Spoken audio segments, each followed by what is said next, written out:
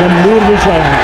मानता हूँ मान्यवर उन्होंने इसकी माफ़ी मांगना संविधान का इन्होंने अपमान किया है। सारे नियम इनके इनको लागू नहीं होते हैं। इस प्रकार की गलत बयानी से सभी को गुमराह करने की कोशिश नहीं की जानी चाहिए। संसद ये गलत बयानी कर रहे हैं। ये इतना हल्का फुल्का कैसे स्टेटमेंट दे सकते हैं leader of opposition Shiv ji कहते हैं डरो मत डराओ मत। अभय मुद्रा दिखाते हैं। अहिंसा की बात करते हैं, त्रिशूल को ज़मीन में गाड़ देते हैं। और जो लोग अपने आप को हिंदू कहते हैं, वो 24 घंटा हिंसा हिंसा हिंसा। नफरत नफरत नफरत। असत्य, सत्य, असत्य।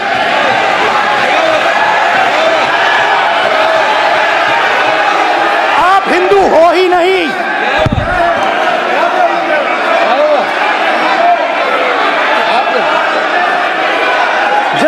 Picture of Shiva. Because of Hindu धर्म में साफ़ लिखा है। सत्य के साथ खड़ा होना चाहिए। सत्य से पीछे नहीं हटना चाहिए। सत्य से नहीं डरना चाहिए। अहिंसा हमारा प्रतीक है। अभय मुद्रा। ऐसे कीजिए ऐसे कीजिए अभय मुद्रा। पूरे हिंदू समाज को हिंसक कहना ये गंभीर विषय है।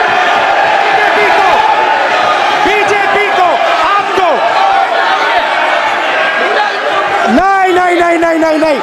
नरेंद्र मोदी जी पूरा हिंदू समाज नहीं है। बीजेपी पूरा हिंदू समाज नहीं है। आरएसएस पूरा हिंदू समाज नहीं है। माननीय अध्यक्ष जी, शोर शराबा कर कर इतने बड़े वाक्या को छिपाया नहीं जा सकता।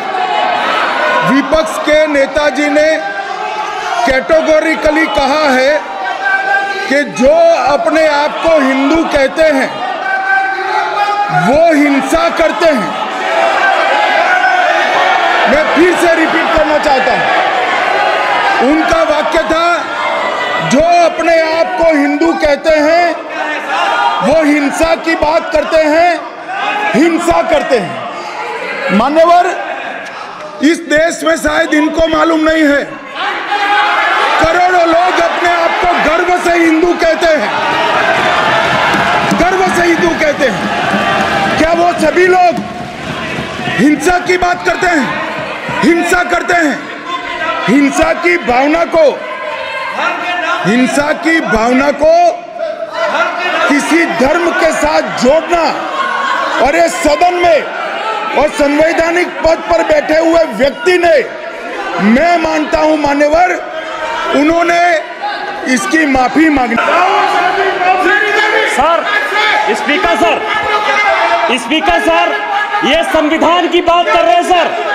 और इसी संविधान का आर्टिकल 25 कहता है कि किसी भी धर्म के ऊपर कोई भी व्यक्ति किसी को हिंसावादी करार नहीं दे सकता है। और इन्होंने हिंदू का हिंसावादी कहा है, सर। संविधान का इन्होंने अपमान किया है। संविधान की झूठी दुहाई दी है। इनको माफ़ी मांगनी चाहिए, सर। ये आर्टिकल 25 है, सर, संविधान का।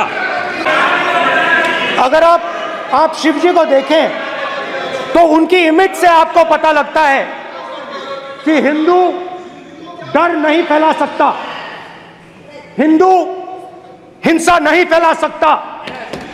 हिंदू नफरत नहीं फैला सकता। और बीजेपी 24 घंटा नफरत, हिंसा नफरत हिंसा नफरत, हिंसा। सर कहाँ कहाँ तक इन लोगों ने डर फैला दिया? मैं आपको अयोध्या से शुरू करता हूँ। सर नमस्कार।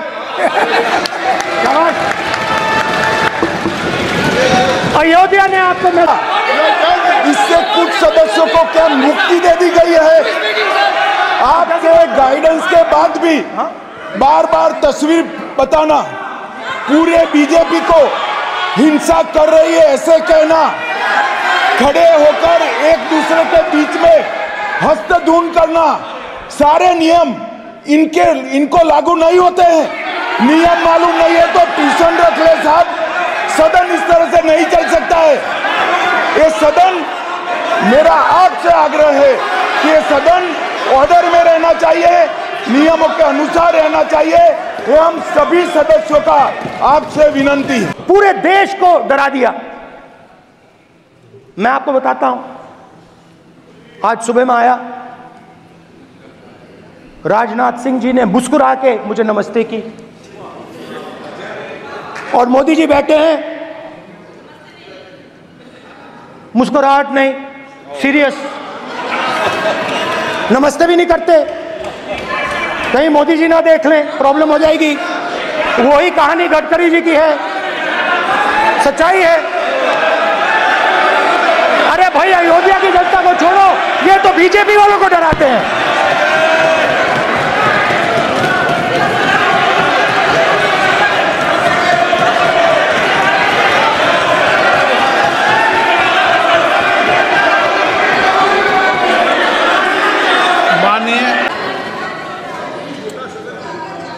लोकतंत्र ने और संविधान ने मुझे सिखाया है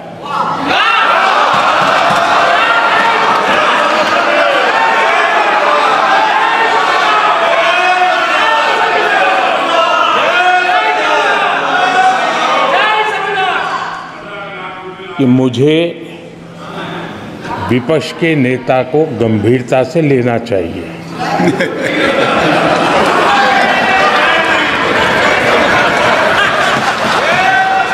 मगर अग्निवीर को जवान नहीं कहा जा सकता। अग्निवीर यूज़ एंड थ्रो मजदूर है। और आप उससे कहते हो, उसको आप छह महीने की ट्रेनिंग देते हो। छह महीने की ट्रेनिंग देते हो। दूसरी तरफ़, चाइना के जवान को पाँच साल की ट्रेनिंग मिलती है। राइफल लेकर उसके सामने खड़ा कर देते हो। उसके दिल में भय पैदा करते हो। एक जवान और दूसरे जवान के बीच में फूट डालते हो। कि एक को पेंशन मिलेगी, एक को शहीद का दर्जा मिलेगा, दूसरे को नहीं मिलेगा। और फिर अपने आप को देशभक्त कहते हो। ये कैसे देशभक्त हैं?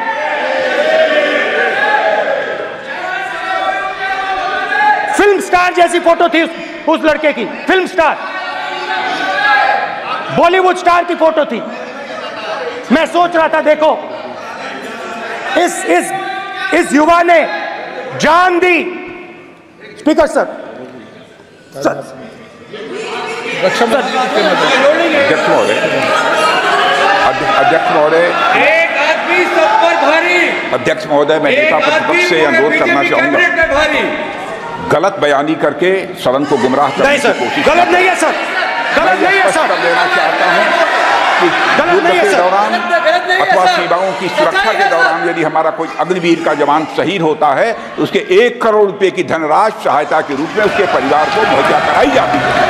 इस प्रकार की गलत बयानी से सभी को गुमराह करने की कोशिश नहीं की जानी चाहिए संसद महोदय अध्यक्ष।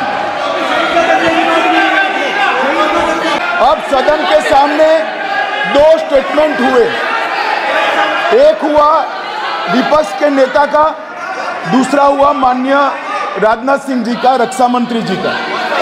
ये कहते हैं कि एक करोड़ रुपया नहीं मिलता है। श्री राजनाथ सिंह ने अधिकृत रूप से कहा कि मारे जाने वाले अग्निवीर को जो शहीद होता है, उसको एक करोड़ रुपया दे, मिलता है। उनको फैक्चुअल पोजीशन सदन पर रखनी चाहिए, मान्यवर। ये सदन झूठ बोलने की जगह नहीं है, मान्यवर। यहाँ सच बोलना चाहिए। और अगर और अगर ये नहीं रखते हैं तो उनको ये सत्यापन नहीं करते अपने स्टेटमेंट का तो उनको सदन और देश से और अग्निवीरों से माफ़ी मांगनी चाहिए माननीय।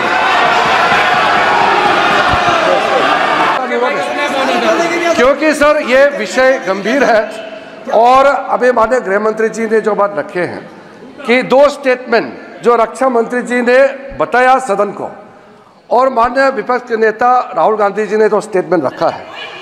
इसमें इन्होंने जो कहा है कि रक्षा मंत्री बोलने से क्या फ़र्क पड़ता है, इतना हल्का फुल्का कैसे स्टेटमेंट दे सकता है लीडर ऑफ़ अपोजिशन इसलिए सर, इन्होंने जो जो बात रखा है, पुष्टि करना चाहिए, और हम लोग भी सर नियम के मुताबिक अपना पर रखेंगे सर। सर देश की सेना जानती है पूरा देश जानता है कि अग्निवीर स्कीम सेना का स्कीम नहीं है पीएमओ का स्कीम है yes. और पूरी सेना जानती है कि स्कीम प्राइम मिनिस्टर का ब्रेन चाइल्ड था स्कीम सेना का ब्रेन चाइल्ड नहीं था yes.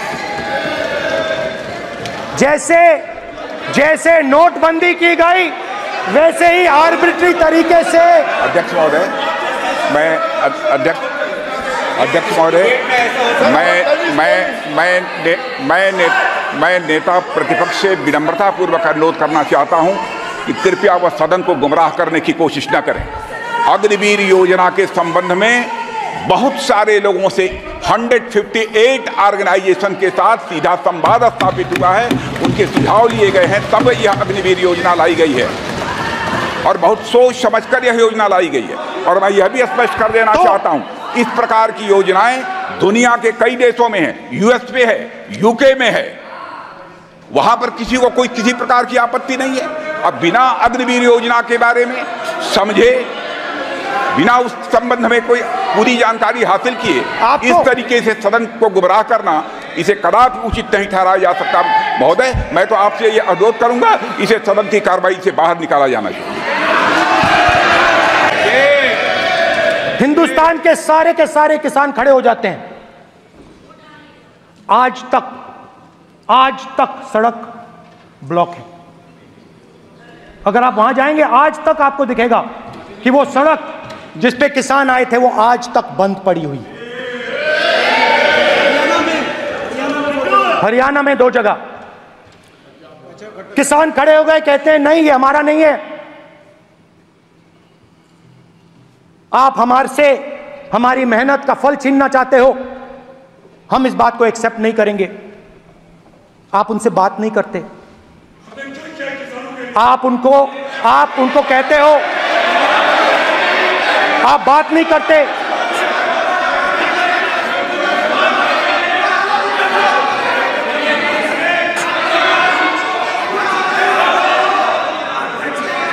आप बात नहीं करते, आप गले नहीं लगते, आप उन्हें आतंकवादी कहते हो। आप कहते हो ये सब आतंकवादी हैं। झूठ नहीं है, झूठ नहीं है, सच है। सच है।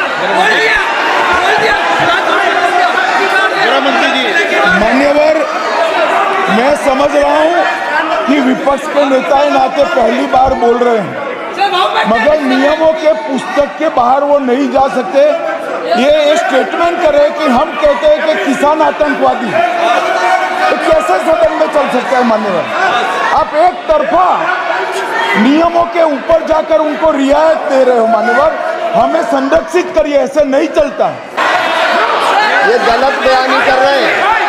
एमएसपी एमएसपी सरकार दे रही है और ये मोदी जी की सरकार है। जिसको उत्पादन की लागत पर कम से कम 50 माननीय अध्यक्ष महोदय उत्पादन की लागत पर कम से कम 50 परसेंट जोड़कर एमएसपी दी जा रही है और नहीं दी जा रही ये सत्यापित करें माननीय अध्यक्ष महोदय। ये गलत बयानी कर रहे हैं। ये सदन को गुमराह कर रहे हैं गलत बयानी कर रहे हैं। आज भी एमएसपी पर खरीद जारी है और अभी अभी खरीद की guarantee. फ़सलों के एमएसपी के किए ये बताए जब इनकी सरकार थी। तब एमएसपी कितनी तब तब एमएसपी कितनी मिलती थी? और उस समय खरीद कितनी होती थी माननीय अध्यक्ष भाई? उस समय खरीद कितनी होती थी? आज भी एमएसपी पर खरीद जारी है माननीय अध्यक्ष महोदय। ये गलत बयानी कर रहे हैं। ये सत्यापित करें इसको कि एमएसपी पर खरीद नहीं हो रही। ये सत्यापित करें माननीय अध्यक्ष महोदय। ये गलत बयानी दी जा रही है। देना चाह रहे इनको नहीं बोलने देना चाह रहे आरएसडी कमेटी को मारी है। वेन सुनाओ। आप इनको sir three four nine two फिर आपकी भी while house in sitting member shall not interrupt any member while speaking by disorderly expression और नॉइसेस और any any other disorderly manner sir in the same way sir number बोलो sir sir, nine, 349, 349, 349, 2, 349 2. Sir, while the House is in sitting, two shall not interrupt any member while speaking by disorderly expression or noises or any other disorderly manner. Sir, you, you, Nishikant Dubey, the honorable minister, you you, continuously disturbing the House, sir.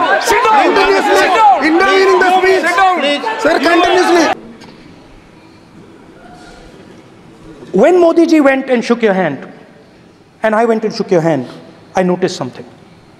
When I shook your hand, you stood straight like this and shook my hand. And when Modi ji shook your hand, you bowed down and shook his hand.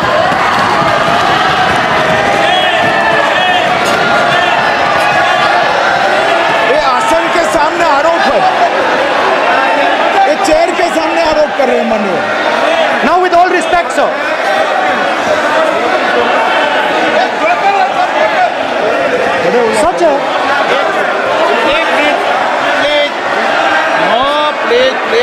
हाँ हाँ मैं इस बात को आसन से कह रहा हूँ कि मेरी संस्कृति और संस्कार यही है कि बड़ों का झुककर और आवश्यक हो तो पैर छूकर सम्मान करो। और बराबर जो उम्र से छोटे हैं उनसे बराबर का व्यवहार करो। Speaker sir. ये हमारी संस्कृति संस्कार है। और मैं इस संस्कृति संस्कार की पालन करता हूँ। स्पी, स्पीकर सर आपकी सर स्पीकर सर आपकी बात आपकी बात को मैं एक्सेप्ट करता हूँ speaker sir. Uh, sir speaker sir आपकी बात को रिस्पेक्टफुली बैठिए ना। स्पीकर सर मैं आपकी बात मैं आपकी बात को रिस्पेक्ट करता हूँ मगर आपको कहना चाहता हूँ कि इस हाउस में स्पीकर से कोई बड़ा नहीं होता। स्पीकर सबसे बड़ा है। हम सबको स्पीकर के सामने झुकना चाहिए। और मैं आपके सामने मैं आपके सामने झुकूँगा और सारा का सारा ऑपोजिशन आपके सामने झुकेगा ये लोकतंत्र है स्पीकर सर। आप इस हाउस के लीडर हैं। आपको किसी के सामने नहीं झुकना चाहिए। कस्टोडियन है। नेता प्रधानमंत्री है। स्पीकर स्पीकर को आप Speaker is the last word. कुत्ता बोल स्पीकर इज़ अध्यक्ष इज़ द लास्ट वर्ड मान्यवर में लोकसभा अध्यक्ष के निर्देश की पुस्तिका का दसवें संस्करण का एक सौ पंद्रहवा आपके सामने उल्लेखित करना चाहता हूँ। इसके क से घ तक पढ़ेंगे तो ये बहुत स्पष्ट है कि कोई भी मंत्री या सदस्य भाषण देते वक्त तथ्यात्मक चीज़ें रखता है और सदन के कोई और सदस्य इसको ऑब्जेक्ट करते हैं या चैलेंज करते हैं तो आसन इसको सत्यापित करने का निर्देश दे सकता है। मान्यवर विपक्ष के नेता ने भाषण में कई चीज़ें ऐसी रखी जो तथ्य नहीं है, सत्य नहीं है। और समय समय पर यहाँ से ट्रेजरी बैंक ने सत्यापन की मांग की हम सब की ओर से मेरा आपसे निवेदन है कि इनकी स्पीच और ट्रेजरी बैंक से लिए गए सारे ऑब्जेक्शन को ध्यान में रखकर नेता प्रतिपक्ष को अपने भाषण में तथ्य बगैर की और सत्य न हो ऐसी जो बातें रखी गई है, इसका सत्यापन करने के लिए आपका निर्देश मिले और हमें संरक्षण मिले। सत्यापन करेंगे।